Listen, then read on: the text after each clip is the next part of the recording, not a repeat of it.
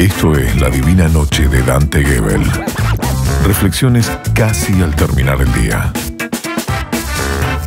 Muy buenas noches, bienvenidos a otra nueva semana aquí en Vortrix, haciéndote compañía en esta pequeña bitácora para reflexionar juntos. En Queens, Nueva York, durante 1964, una tal Kitty Genovese fue brutalmente golpeada y asesinada delante de 38 vecinos que la vieron luchar por su vida durante media hora. Nadie intervino, nadie hizo nada, nadie llamó a la policía. Obviamente era la época, estamos hablando de 1964. No había redes sociales, nadie podía sacar un celular y, grabarte, pero aún así sorprende que había 38 testigos mirando cómo estaban liquidando a una mujer y nadie intervino. Fue un caso que dio la vuelta al mundo. De hecho, de este informe derivó en una investigación que los científicos llamaron el efecto espectador. O sea que un estudio reveló que si una persona es testigo de un probable crimen, es probable que se involucre también. O sea que, lo trate de impedir, porque está vos solo y decir, no puedo permitir esa injusticia. Pero a medida que crece el número de testigos, las posibilidades de que alguien intervenga disminuyen drásticamente. ¿Por qué? No sé. Bueno, yo no sé, pero los científicos dicen que el meollo es que cuando la gente está en un grupo, por alguna razón, la responsabilidad de actuar se diluye, no se mete nadie. Debe ser porque el otro, todos piensan, bueno, ya, ah, seguramente ¿verdad? alguien habrá llamado al 911. No, ¿para qué lo voy a llamar yo si lo llamo él? Y todos piensan lo mismo, nadie llama a la policía. La cosa que 38 testigos vieron cómo mataban a una mujer y nadie intervino en el año 1964. De allí se desprenden muchas cosas que son muy interesantes, que cuando las personas dejan de pensar por sí mismas y empiezan a pensar con esa mente de rebaño, con esa mente de grupo, cortan el flujo de invención, cortan la creatividad, cortan el avance y se va creando una, una cultura rancia, ¿no? en la cual hasta las tradiciones pierden su significado porque nadie recuerda por qué esas tradiciones se llevan a cabo. Esto pasa en la política, pasa en la religión, pasa en los clubes de fútbol. Che, ¿y por qué hacemos esto? Ah, no sé, acá se hizo siempre así. O sea, aprendemos el cómo y olvidamos el por qué lo estamos haciendo. Escucha este experimento.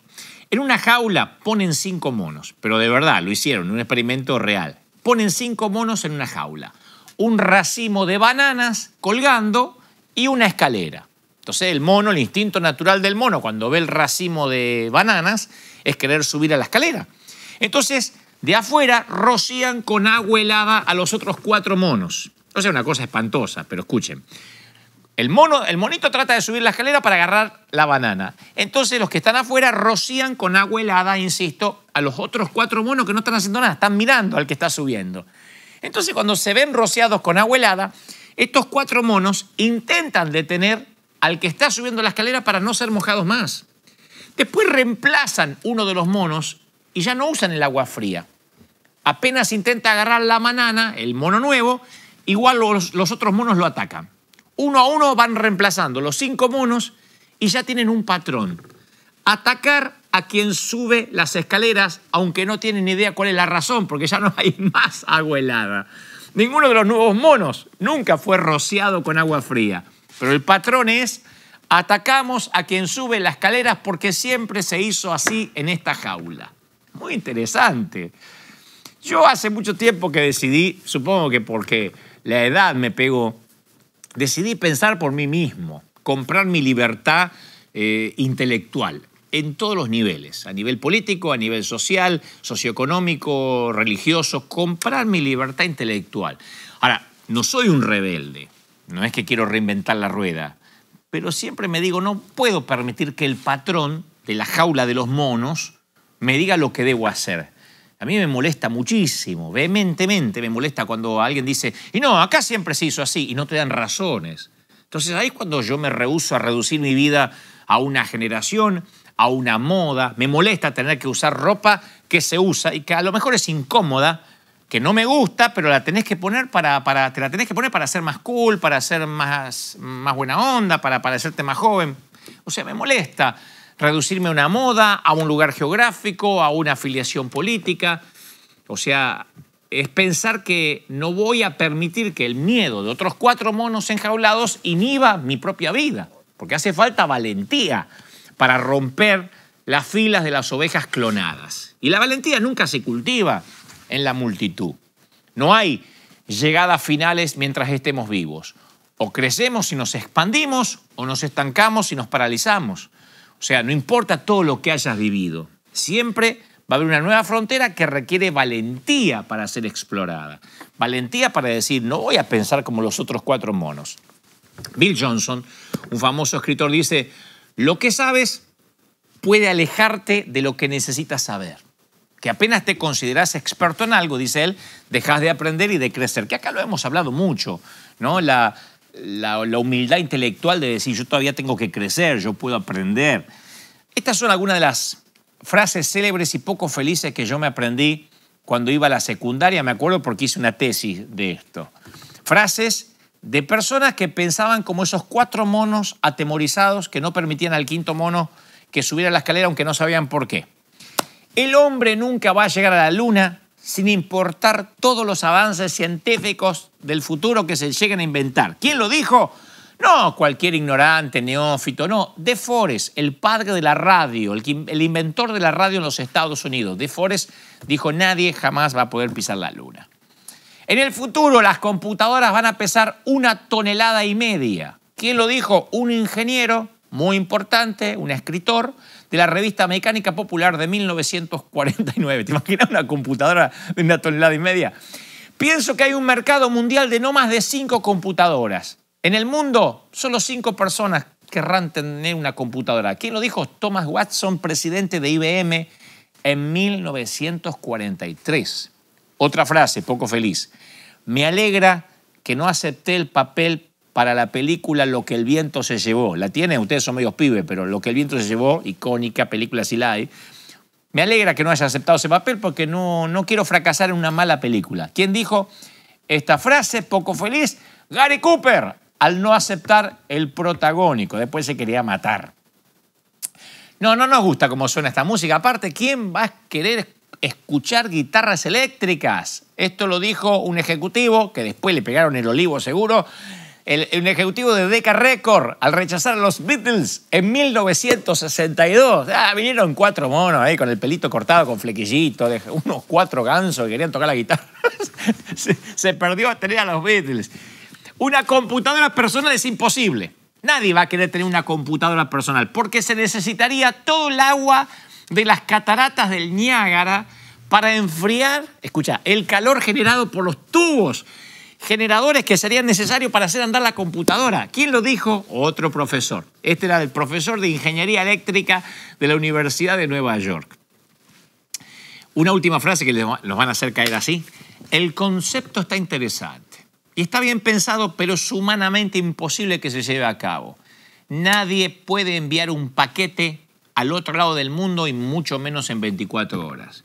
Eso le dijo el profesor de la universidad en respuesta a la tesis que presentó Fred Smith, que proponía en su tesis un servicio de entregas de correos 24 horas que si había que usar aviones, se usaba aviones. El profesor dijo, no, esto es imposible. Y después este tipo fundó FedEx, hasta la fecha multimillonario. O sea, la Junta en pala, gracias a que no escuchó al profesor eh, que le dijo que no, no iba a ser posible. ¿Dónde estaríamos si hubiese esta gente dejado que los expertos, los cuatro monos asustados, dictaran nuestros límites? Eso es lo, que, lo interesante, el meollo de esta reflexión, que siempre va a haber un, montón de gente que dice, no, no va a resultar. El 6 de mayo de 1954, Roger Bannister rompió, Bannister rompió la barrera del kilómetro y medio en cuatro minutos en una maratón, haciéndole en 3 minutos 59. Nadie, ningún ser humano, había logrado eh, romper la barrera de los cuatro minutos. Él lo hizo en 3 minutos 59, o sea, le ganó un segundo. Hasta ese momento era inalcanzable, era peligroso para la salud de cualquier atleta que quisiera alcanzar menos de los cuatro minutos. Y cuando él atravesó ese velo de lo imposible, varios atletas rompieron también la barrera. Entonces nos preguntamos, ¿hubo un salto repentino en la evolución humana? ¿Que de repente todos podían correr en menos tiempo? No, fue un cambio en la manera de pensar. De ahí se deviene un consejo para la vida. La diferencia entre lo que es y lo que podría ser no se mide por el largo de la pista, sino por la resistencia entre lo que está nuestro, entre los dos oídos, o sea, los obstáculos de la mente.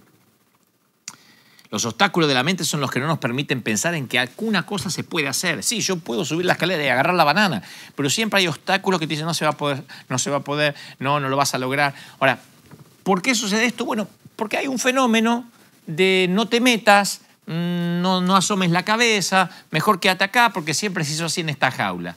¿Quiénes son los héroes de tu nación? Le preguntó un orador conocido mío al público que estaba en Australia. Y alguien que estaba entre el público en Australia, que tuve el placer de conocer este, este querido país hace muchísimos años, alguien se paró y dijo, no, aquí en Australia no hay héroes. ¿Cómo que no hay héroes? No hay un prócer, no hay un jugador de fútbol, no. Es un tabú cultural ser reconocido. Se llama el síndrome de la amapola alta. Es una dinámica social que cualquiera que resalta en Australia es cortado por la masa, para que no resalte. La falsa humildad se debe al síndrome de la amapola alta. La verdadera humildad a mí me parece que es muy compatible con la grandeza, con la estima sana, porque algunos creen que hacer algo distinto en la vida, atreverse a subir la escalera para bajar el racimo de bananas, creen que eso es ser una amapola alta, querer figurar. No, humildad no es sentirse pequeño, no es sentirse denigrado, no es sentirse insignificante, yo creo que la humildad es muy compatible con la grandeza, con lograr cosas importantes. Una de las cosas más emocionantes del mundo es hacer algo que otra persona no hizo, que alguien no puede hacer. Para mí, cuando yo era pibe, eso era todo un desafío. Eh, y acuérdense si acaso no eran los desafíos del barrio. Che, ¿cuánto puedes aguantar la respiración vos bajo el agua? Dale. Che, ¿vos crees que puedo andar en una sola rueda hasta la esquina? Dale. Dale, hacete un Willy. ¿Cuánto creen que me meto el helado entero en la boca? ¿eh? Que orino el hormiguero desde acá. si alguien decía que nadie lo había hecho, a mí me interesaba. Y si decía, no, eso se lo hizo fulano, ya ahí perdía el interés. Yo subía la apuesta hasta hacer, la apuesta hasta hacerlo más difícil porque no había nada que me emocione más que salir de la masa, hacer algo que nadie había hecho. Nuestra mente es como una computadora. Entran archivos que están infectados, infectados por los monos que están alrededor. más que nunca valga la metáfora. Entonces nos impide operar para aquello para lo cual fuimos diseñados. Y hay que desinstalarlos, esos archivos infectados, porque te van a socavar desde adentro. La mitad del aprendizaje en la vida consiste en aprender. La otra mitad en desaprender lo que dicen los monos que están alrededor. Y eso es lo más difícil, porque es como desviarse de la autopista, de la ruta. Hay que regresar a donde te desviaste. Yo ya conté esto, pero lo voy a decir de vuelta. No sé si sabían que las vacunas son pequeñas dosis de la enfermedad que querés combatir. Así se crea la inmunidad. Entonces la cura para el temor al fracaso no es el éxito, es más fracaso. La cura para el temor al rechazo no es la aceptación, es el rechazo. Tenés que estar en contacto con pequeñas cantidades de aquello a lo cual tenés temor. Así se crea la inmunidad. Pero yo tuve experiencias que a mí me quitaron el temor a fracasar. Y voy a decir, ¿porque tuviste muchos éxitos? No, porque tuve muchos fracasos. Aprendí la mejor filosofía. ¿Qué es lo peor que puede pasarme? No hay nada mejor que esa frase para emprender algo grande. Che, ¿qué es lo peor? Y bueno, que a lo mejor te meten preso porque no puede pagar.